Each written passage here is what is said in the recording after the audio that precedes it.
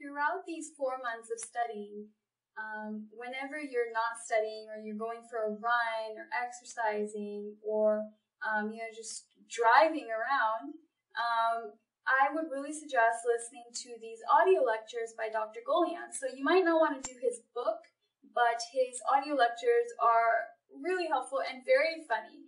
He makes it a pleasure to listen to him. So if you want those audio lectures, um, you can find them online.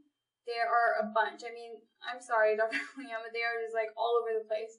Um, but I'm sure you can buy them off his website as well or you can buy, I think there were cassettes or CDs or something someone was selling on eBay or Amazon.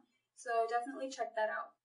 The only uh, remaining resource in the first month is um, if you feel that you are very weak in physiology and the Kaplan lectures are not helping you, there's a very small book that you can use uh, for physiology by uh, Dr. Costanzo, which is called um, BRS Physiology.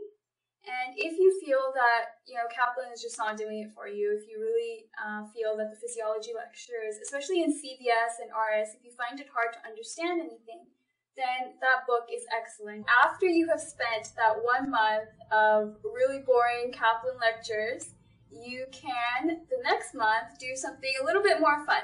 You can start DIT, Doctors in Training. It's a really great, quick, um, resource for reviewing all of the material you just learned, but it's done in a really fun way. They make uh, they have awesome mnemonics that you can use throughout your studying. They have um, really fun skits that they do. They're just funny in general, and it's a breath of fresh air when you're you know rotting and studying for this exam. You really need that. Second, um, you need a Q bank always. You need to always be practicing questions. So Kaplan Q Bank is like something that if you don't do, it's okay, but I don't recommend just doing lectures without ever doing questions. So, um, but if you don't want to do all the Q banks, then Kaplan is the one to take out of the system. You don't have to do it. But USMLE RX is the one that I would do in the second month. And I know that there are some errors in that Q bank. But the cool thing is, is that if you find out that error and you write them a comment um, in the comment section that, hey, I found this error and this is the reference to it in first aid or whatever, then they will actually pay you. They'll send you a little Amazon gift card, like $10 per question, something like that. And I thought that was pretty cool. I earned a lot of money doing that. So I really suggest that you use USMLE RX.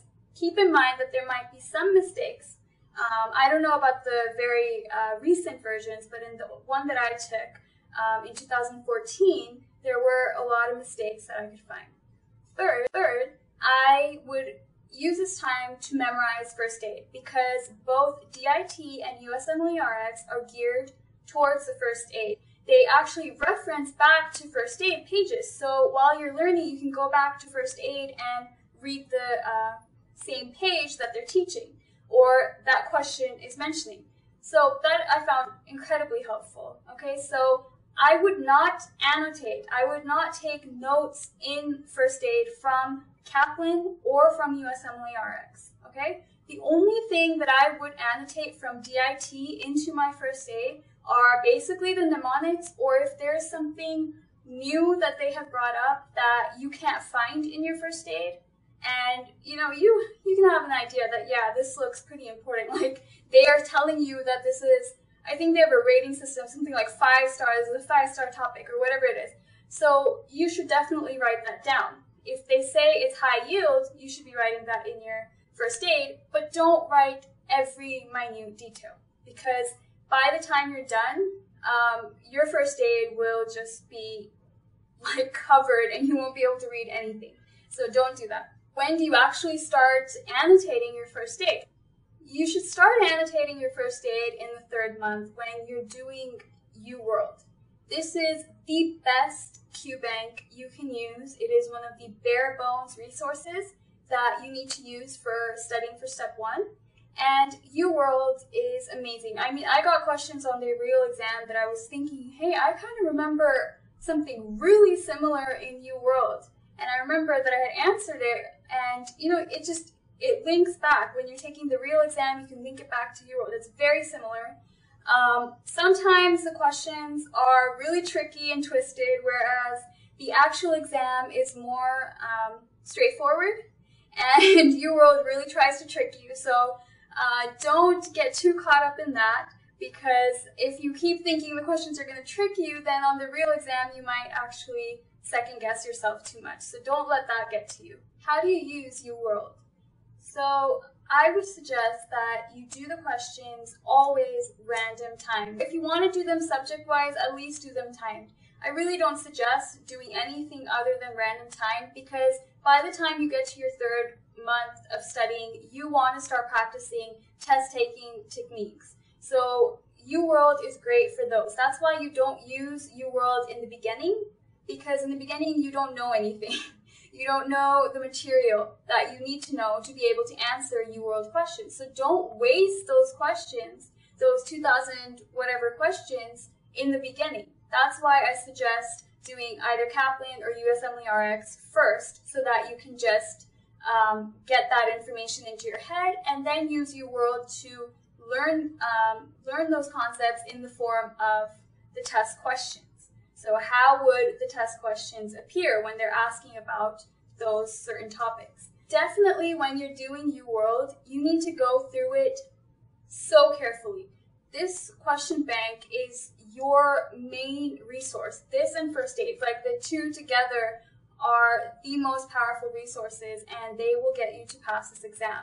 Since it's your third month, you can use all your mnemonics, your first aid memorization. You can see what you're forgetting when you're taking um, the UWorld uh, blocks. So that's very helpful because now you can start fixing whatever uh, mistakes you're making. Don't get caught up in the percentages in UWorld. They don't mean anything. As long as you have a steady score or you're at least getting better and you're not getting worse, right? Um, then you know you're doing something right and you're going in the right direction. If your score is just not getting above maybe 50% for the longest time. I mean, by the end of the month, when you're done with UWorld and your score is not above 50%, then this technique is not working for you. You need to find something else. Maybe you need to take one of the uh, courses at Kaplan, or I know there are so many Falcon and so many other courses. I don't know much about them, but I can uh, provide the information in the links below.